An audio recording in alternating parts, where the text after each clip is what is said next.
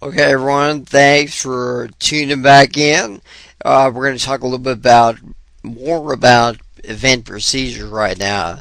Uh, we're going to talk about event procedures, calling event procedures, creating event procedures, and then we're going to look at some form events like opening forms and load and navigating through records and things like that. So hopefully a little bit more if we have a little bit of time left over. So anyway, without any further ado, uh, we're going to cover event procedures. Now, all like I said earlier, each one of these is uh, earlier on earlier video. Uh, each one of these is an object. Okay, the command button object, and each one of these have uh, properties and methods, things that they can respond to. Um, things inherent properties about them, things that they respond to, which are called events. So uh, let's go into the VBA window uh, by pressing alternate F11 on your keyboard. Alternate F11. see if I can, yeah, I can do that. Okay, and uh, as you can see, I already put some put some code in here. Okay, notice that up here we have all of our objects on the current form and then all the declarations or things that they could do. So if I look over here at the uh, CMD calculate, I know that the things that it responds to or that you can program for are the, let's see, I don't know if you can see that. Let's see if I can move the screen up a bit. Again, if you didn't see it, if I hit it, uh, CMD calculate Okay, this object, it's a command button, can respond to the click event, the double click event, enter, okay, on down through the list here. So there are quite a few things that it can respond to. And the nice thing about Access VBA is that you can, when you click on one of these, it builds a framework for you. Okay. So this is actually the command 16 so I'm wanted to do the command calculate. And now if I click on one of these it builds the framework for me right uh, right away. And I have this plus sign here. Because it may have happened. So calculate enter. Okay so it responds to the enter event or the double click event okay now, if you want to program the form itself, and that's what we're going to look at right now. Let's see, I don't erase anything important.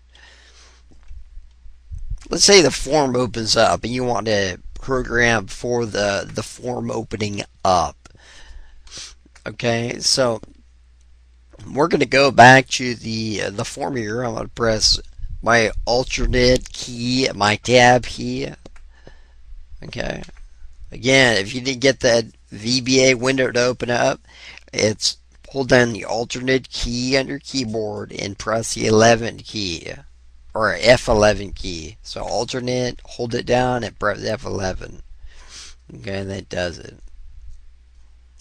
Again, okay, now we're onto the uh, form here. So we're going to do design view on the form and up here is a little properties little properties button. Go ahead and click on that. You'll see all the properties, all the properties for the form. Now, uh, let's say we're going to open it.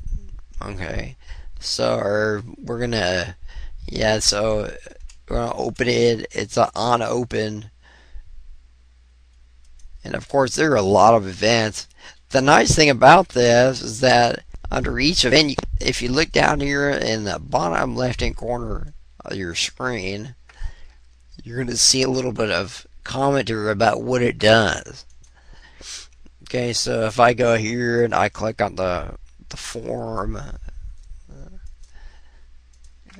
that kind of is a little help helper. So if you're confused about all these things, you, you make yourself look like a genius because you know what each of these form events does. Macro or function that runs when a form changes. So go ahead, you can select exactly what you want. Okay, I'm just just going down through these events, and uh, you'll you'll get to know more as you as you become more more uh, well versed in the program. Right now, you may use it as a as a little helper. Okay, so I said we're going to program for the on open event. So I'm going to double click and I get the event procedure. Now notice I double click. Uh, notice if you click the drop down arrow, that's your only selection. If you click the build button, you're going to go right into the VBA window. I'm going to do a just a simple thing. Message box form opened. Okay. Then I'm going to save it. Then I'm going to go ahead and close it. And we're going to go ahead and go back to my form here that's my form 1 I believe. I'm going to close it and, and then I go ahead and double click on form 1 and open it and that's the first thing I get is form opened. Okay and then it opens up. So you can program for it. You can have some fun uh, just kind of do some experimenting if you want and you can go ahead and, and uh, maybe you want to make a password in that box. So I'm going to go ahead and pause the video. We're going to go ahead and uh, utilize that that little. We're going to utilize that open event and put a have a password form open up in uh, in before we actually see the the contents of whatever that form the displays whatever the form displays. So Hold on just a moment. I'll be right back.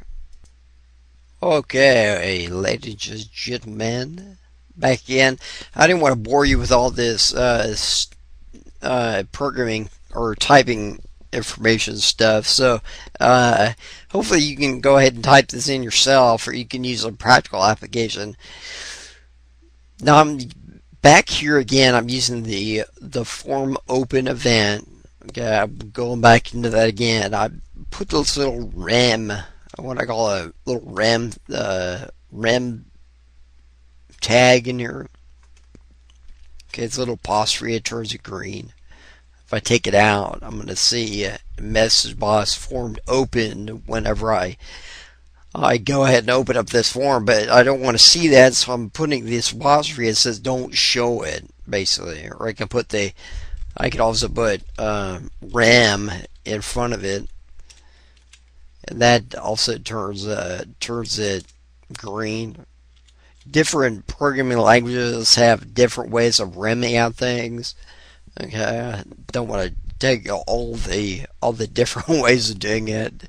Uh, now we're we we go ahead and uh, dim. We use the word the keyword uh, dim Okay, dim or we're dimensioning a portion of memory that holds a string variable, and it's called a password. Okay, uh, these three characters in the front tell me what the data type is. Okay, you can actually call it just password, but I don't know if it's a number or if it's a, uh, a yes no value or what. The answer is kind of helpful Okay, so come up with a naming convention and uh, go ahead and use it.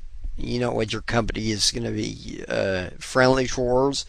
If you're a sole developer, come up with your own convention. STR password is now going to be equal to whatever you type in an input box. Okay, it's this returns a this function input box returns a value of whatever you've entered. So that's going to be placed in the STR password variable.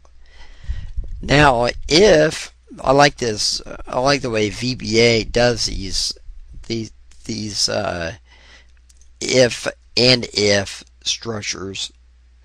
Uh, if you look at some of the other languages, you don't have this end if, uh, like Python is.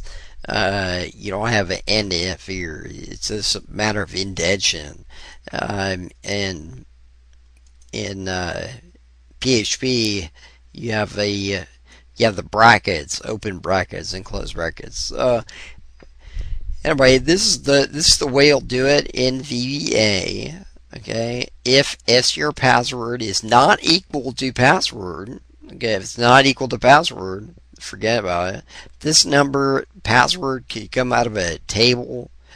Uh, you could the, the value there could come out of a table, or you can have it hidden somewhere. So uh, it's always good to eh, name it another module and just hide it yeah, so that it's not obvious saying, hey, it's password. Uh, look at me.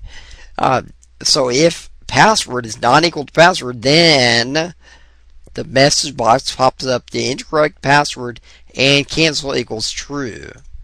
That means what? Cancel equals true? It means the form cancel event is true. Okay, so it's not going to open up.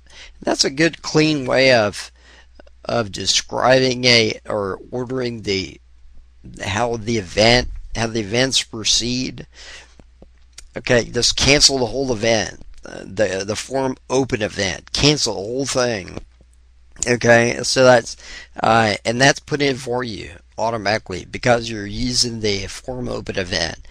Let's go ahead and see see how this works all together and comes together. So I'm going back here into my into my uh, form I'm going in saving it, yes. Now going ahead and launching it. Now it's saying enter the password. Okay, well, uh, so right now I'm entering the wrong one as you can see. Long, incorrect password. So I cancel the whole thing. I'm I'm gonna close out of this screen too. Don't get confused. Enter the password. Now I'm going to enter the password password. Okay, now it opens up. So now you have a form that if you don't enter the right password, incorrect password, and it doesn't open up. Okay, the user does not see the form because you didn't open it up. Okay, the load event does not have that. Okay, the load event does not have that we will cover the load event and the navigating records event and the delete event uh, in the next video. So stay tuned and uh, come on back and we will we will cover those in a moment. Thanks.